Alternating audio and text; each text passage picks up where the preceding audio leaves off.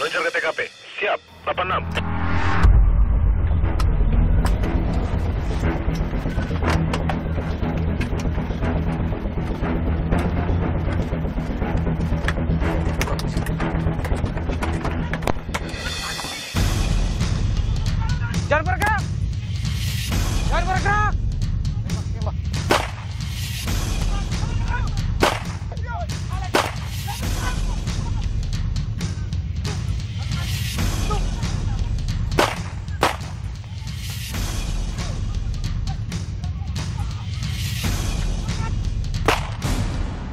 Akhirnya dengan persiapan kami yang matang, kami berhasil menangkap tiga orang tersangka yang diduga pelaku pencurian kendaraan bermotor. Eh, kau taruh di mana aku punya itu? Motor kau taruh di mana? Ada berapa di situ? Ada berapa? Ada berapa? Ada tiga, Pak. Tiga, tiga. Mana? Pak. Duduk, duduk, duduk, duduk. Duduk, duduk, duduk. Jawab. Duduk, duduk, duduk, duduk, duduk. Borgol dia. Masih ada lain? Ada yang lain? Hah? Ada yang lain tidak?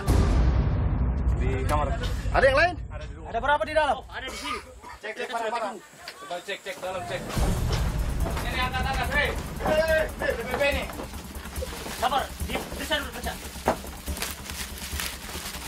Cek, cek, cek.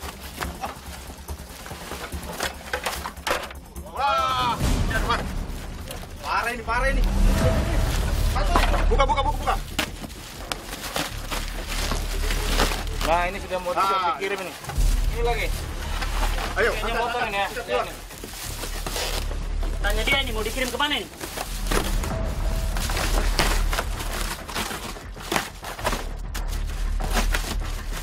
Oh, ini rangkanya nih. Rangka ini. Wah, itu rangka. Ini rangka, sana mesinnya itu di luar. Coba angkat keluar, angkat keluar. Angkat. satu orang mau masuk lagi, disembunyikan di mana lagi? Eh, kali. Kamu berapa orang? Tiga, Pak. Yang lain? Tiga tahu, Pak. Masih ada tidak barang muda? Kita bisa lain di dalam. Cuma yang itu saja. Ah, kau stop tipu. Eh, selainnya ini, gimana? Hah? Cuma itu saja, Pak. Hah? Barang-barangnya sudah mau siap dikirim itu sudah di Barang sudah ada yang mau dikirim. Terus siapa yang kemas di dalam barang-barang itu? Hmm? Cuma Pak. Siapa? Siapa? Siapa yang bikin tadi itu? Surabaya kan? Mau dikirim ke mana? Mau dibawa ke mana? Mau dibawa ke mana? Surabaya, Pak. Hah? Surabaya. Surabaya. Seberapa kali kau kirim? Pertama. Kau tos, tipu sudah. Tipu sekali. Tersangka sudah kita amankan, tiga tersangka untuk kita bawa ke Polres untuk kita kembangkan dan ini beberapa barang bukti yang kita dapat termasuk di belakang juga tadi ada kendaraan, ada ada motor, Motor yang di belakang ada dorong. tiga buah, Eh, ada tiga buah.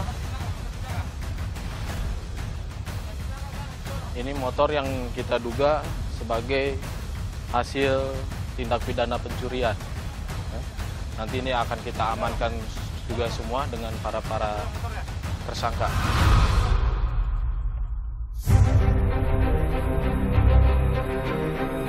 Kami menghimbau kepada masyarakat pengguna kendaraan baik roda 2 maupun roda 4 nah, mungkin agar lebih berhati-hati terutama dalam mem- memarkirkan kendaraannya. Kalau sudah di situ ada tempat area parkir yang disediakan, ya parkirlah di tempat yang sudah disediakan. Jangan parkir di sembarang tempat dengan minimnya fasilitas keamanan dan itu yang akan memancing para pelaku ini untuk melakukan tindakan kejahatan yaitu tindakan curanmor.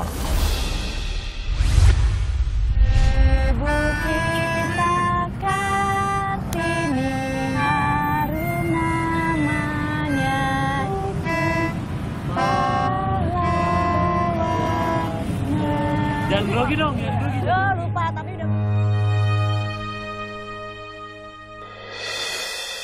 Meluncur ke TKP. Siap, 86.